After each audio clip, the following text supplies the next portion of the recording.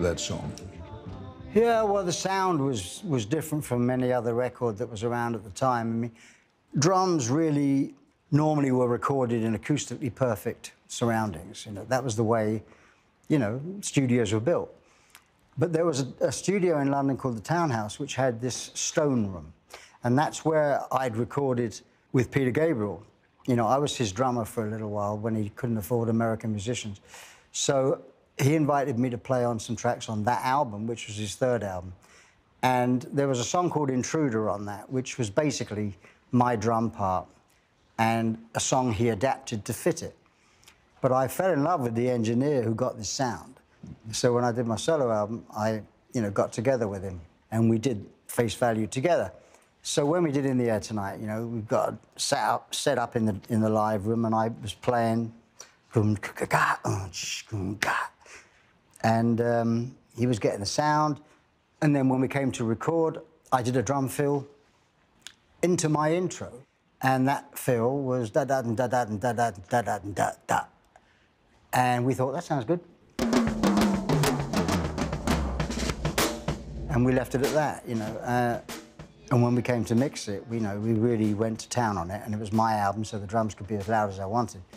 And it really, you know, people went like that because uh, you're kind of lulling people in, drawing people in, and then suddenly punching them in the face with this. And uh, we used to call it the face hugger sound. It was like Alien. You know the movie Alien where this thing comes out? that was the way we referred to the drum sound because records weren't sounding like that.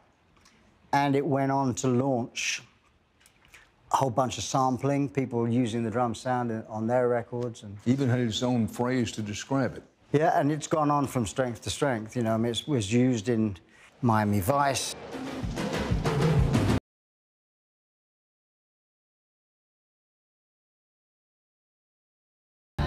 It was used in The Hangover with Mike Tyson. Mike Tyson? This is my favorite part coming up right now.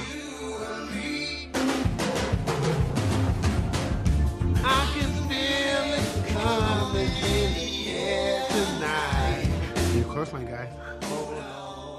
It was used in, in a commercial in England for Cadbury's chocolate with a gorilla playing the drums, which went down very well. It was like a number one advert.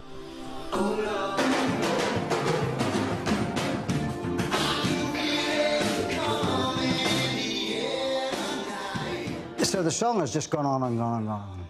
Well, but you recently told a British newspaper, The Telegraph, that you consider this to be a, quote, a noose around your neck. What do you mean by that?